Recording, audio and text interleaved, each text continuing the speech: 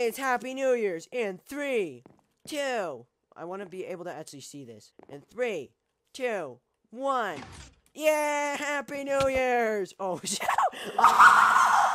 Yay!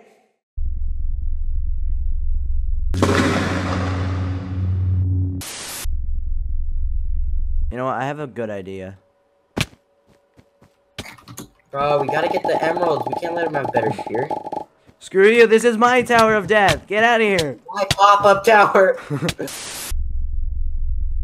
Let's just say that somehow every single one of my videos was fine for being mislabeled. Now, I've made a little over 600 videos in my lifetime. So, with a few calculations, that would mean I would have to pay, you know, the small fine of around $25.2 million years.